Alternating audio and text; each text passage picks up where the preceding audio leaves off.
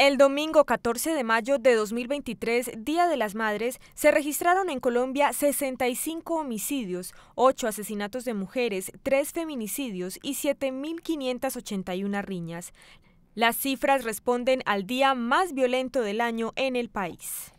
Si bien los colombianos en su mayoría quieren celebrar esta fecha y las familias se unen en torno a las madres, psicólogos recomiendan prepararse para las reuniones familiares con acuerdos y diálogos previos o absteniéndose de participar si se prevé una situación de conflicto conversar en familia, qué tenemos que hablar antes del evento, con quién tengo que eh, tener una conversación en privado, tampoco tiene que ser pública o llamar como la atención delante de todo el mundo, sino con quién debo hablar en privado para prevenir esta situación. La Unidad Familia de Medellín recuerda que cada comuna de la ciudad cuenta con un centro integral de familia, en donde los hogares son orientados de manera gratuita. En esos centros integrales de familia vamos desde una sesión de acompañamiento psicosocial hasta 12 sesiones de acompañamiento psicosocial.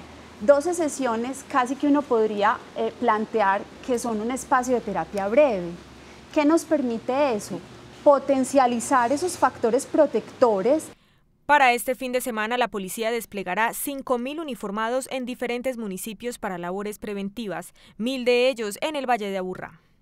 Estamos hablando de más de mil hombres y mujeres policías que tienen una actividad exclusiva, no solo en temas preventivos, sino también disuasión, control.